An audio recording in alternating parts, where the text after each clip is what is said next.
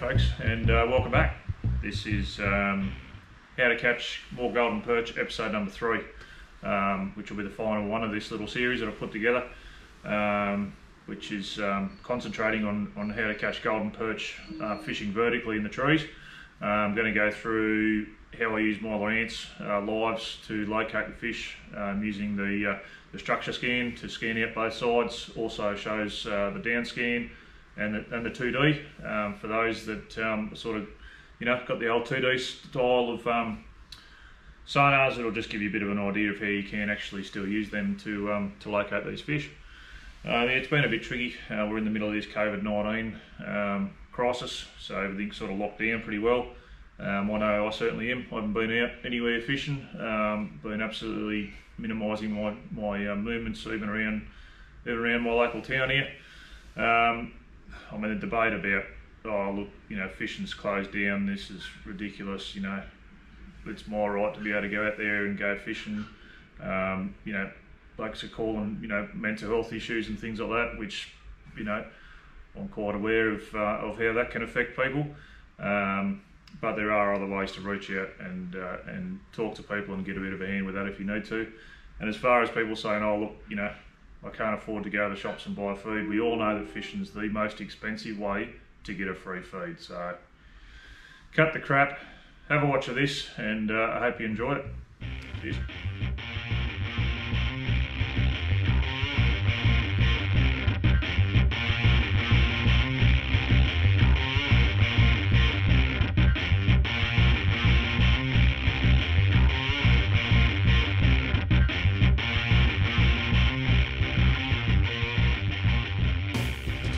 So this will give you a bit of a rundown on um, you know just how I'm using my sounders to, to locate them, just to cut down time lost in the water. Um, life's too short to be mucking around fishing with our own fish, as far as I'm concerned. So I like to put my sounders to the to the best use, and this is how I do it. Um, doesn't mean it's the right way; it's just how I do it. It might give you a few tips on uh, on how you might use yours and, and, and get the most out of it. So um, it'll it'll go from the structure and down scan uh, and, and 2D in, in the dashboard moving forward to the bow and using the, um, the Lowrance uh, live sight uh, off the front um, just to watch those fish follows, ups and downs and missed hits and, and whatever else. So we'll, uh, we'll get into it and show you uh, what I mean.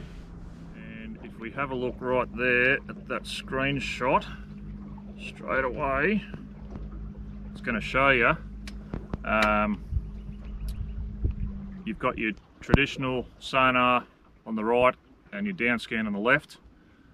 You can see straight away there, we've got those big balls in the blue with the uh, fish reveal showing the arches on the left hand screen. And then if you look on the right, you can just see those shots, those arches that are just a little bit more defined. There your fish. So for any of you guys out there thinking, well, I don't have down scan or any of that sort of stuff, my sounder's a few years old, I can't sound them out, you can. So, where's the menu? I'm on high chirp. I've got my sensitivity up just one. Oh, there you go. Look at that. That's classic. That's a fish that's just um, cruised through underneath us there. There's a stack of them here actually. This is really, really good.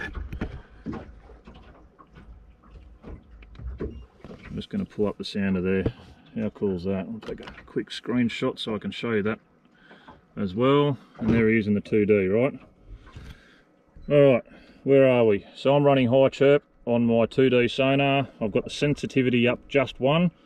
Colour lines at 76%. Now, in the advanced, what have we got? Noise rejection, low. So yeah, I'm gonna get this bit of clutter up here, but that doesn't worry me. I can tell the difference between what's fish and what's not anyway. Um, or structure, whatever it might be. Come back here. Um, surface clarity is on low as well. Again you know what's we're going to go here high it's going to cut all that out of there right? Which is fine all good and well. Look at that you're still going to see a fish because that fish is actually sort of cruising along with us at the moment underneath the boat more or less. So you can see he's come up off the bottom. And he's not alone. That's a score a few fishing amongst that. Speaking of which, at this, let's mark a waypoint.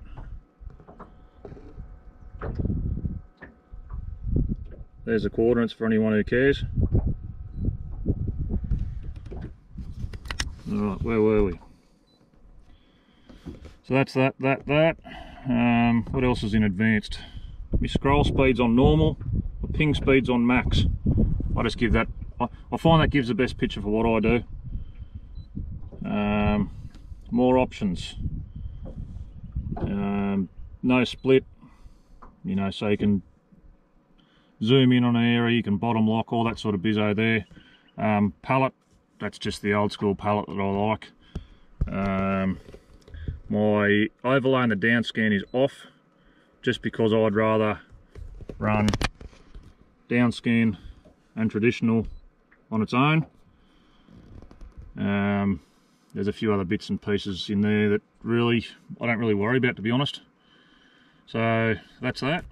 What we're going to do now is cruise over those same trees. I'm going to run the structure scan on it um, with what I run typically. I either run a chart in the corner um, so I know where I am where my marks are or I'll run uh, the 2D the down scan and a big uh, structure scan down the bottom of my sounder so we'll spin around now and go and have a look at that Righto, so what I've got for you there is a bit of a comparison between um, your 800 and your 455 um, hertz on your structure scan. It's a pretty clear illustration there of the extra detail that you achieve by using your 800 uh, as opposed to your 455. Um, your 455 throws a, a stronger beam um, so you're going to cover a, a wider area of water um, and there is a point where you're going to have to use it because you're in the depth you know that's that's too deep for your 800 to uh, to pick up on properly. Um, but yeah that shot there just shows you just how much more detail you can see that little school of reddies there and all of a sudden you can pick up those um, those little piles of rocks as well. So um, I generally run 800 um, everywhere I go when I'm out here on the fresh. It's just got so much detail in it and um, I really don't need to be covering any more water than what that's going to give me anyway. Sometimes I might run it if I'm trying to get, you know, a shot a further distance away, um, but generally your 800 is going to be uh, more than enough. Before we do that, let's have a look down our menu. How have I got mine set? Obviously sources this unit. I'm running a 3-in-1 transducer on the um, on the HDS Live my range is set to 40 metres. Like I said, where are we? We're in 16 metres of water. There you go. There's another fish for you there. I know it's hard to see doing it this way, which is why I'll also show you this way. Alright, pop that for a second. My contrast is up just a little bit. Um, plus two. If you hit that you can see you can go on to auto which is probably fine really. Um, I might just leave it there for now. You can see those nice rocks there. Um, palette well take your pick. There's a mile of them that's that's quite a good one there. Pretty popular that one. But there's yeah there's heaps of them I don't mind that one though to be honest yeah, so another thing is to remember uh, when you are using your, your structure scan, uh, when you are using the structure scan is to keep the boat moving forward and keep it in a straight line. I know it's been said before and all this sort of stuff's been done before, um, but I'm going to tell you again because it is bloody important. You cruise along over your tree, it should be nice and clear. You know, you can see the tree on your screen. As soon as you slow down, if we just take a quick shot there.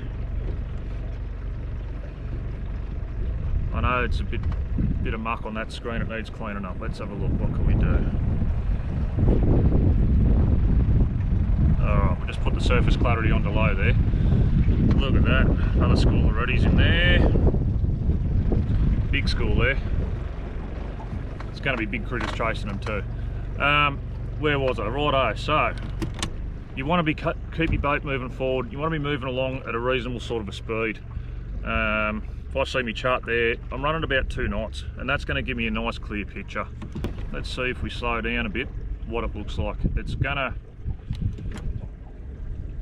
all your details gonna run out of the picture because you're getting that return, bang, bang, bang, bang, bang, off the same bit of tree, off the same bank, off the same rock, off the same fish.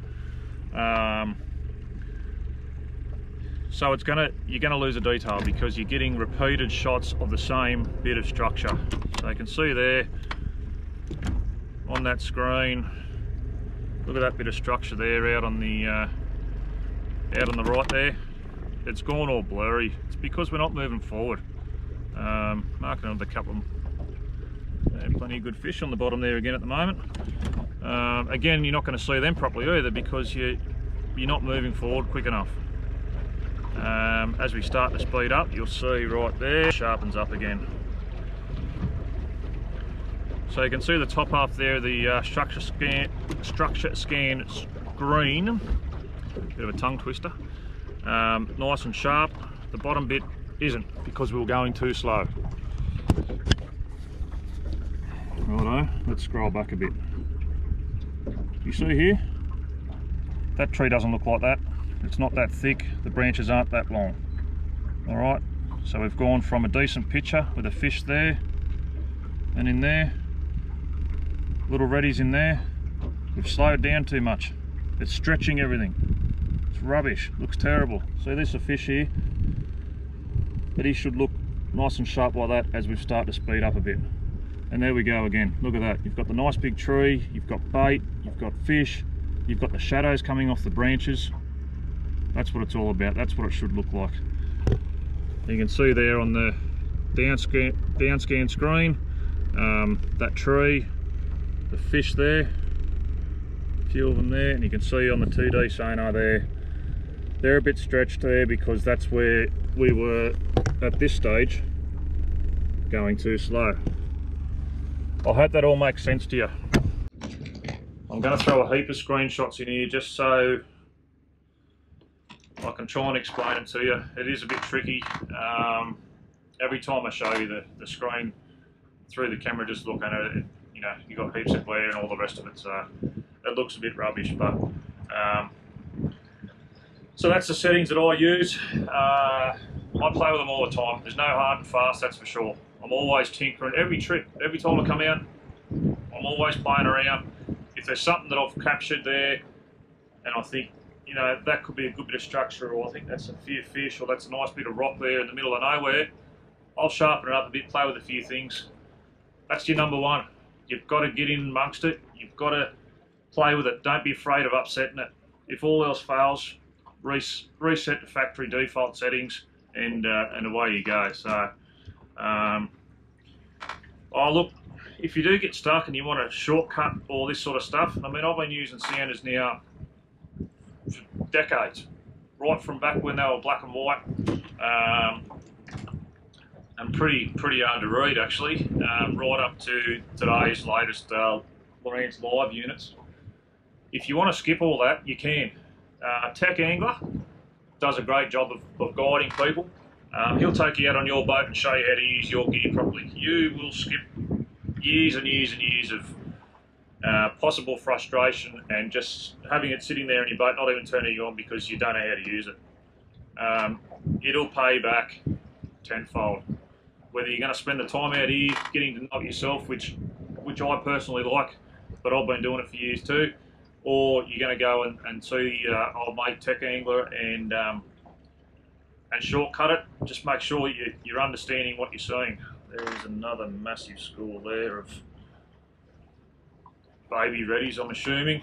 Um, could be school of small carp. There's yellows in amongst them as well. Um, but yeah, get to know your sounders. Don't just say, oh no, it's too old, it's no good. Use your 2D sonar. It'll still show you the tree and it's still going to show you fish too. So um, get in, play with it, don't look for that perfect picture. You're not always going to get it. That's not a bad shot though. Every part of your sound has got a different, will show something slightly different, which is why I run split screens and why a lot of blokes run split screens because your 2D shows one thing, your down scan shows another, your structure's showing wider again, and then you move forward to your, your live sight and, uh, and away you go. So jump into them, have a muck around, have a tin in the shed, muck around with it. Um, yeah, just go through all your menus and all your settings and just um, get to know how to use them because it's bloody worth it. Let's get into some fish, eh? Righto, again, as you can see there, marked up some fish on the um, structure scan, down scan, and the traditional sonar there. And uh, yeah, I've got the live in, and it's good numbers here by the look of it. Just drop into them, we'll see if we can pull one straight out. These one's had a crack. We're straight in. How good's that? Ooh.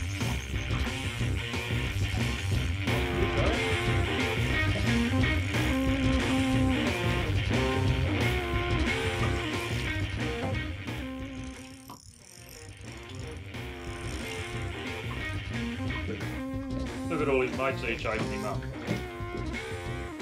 Good patch here, good patch. Oh, this is.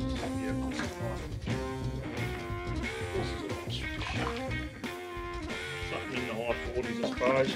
Pretty actually. Sound him, catch him.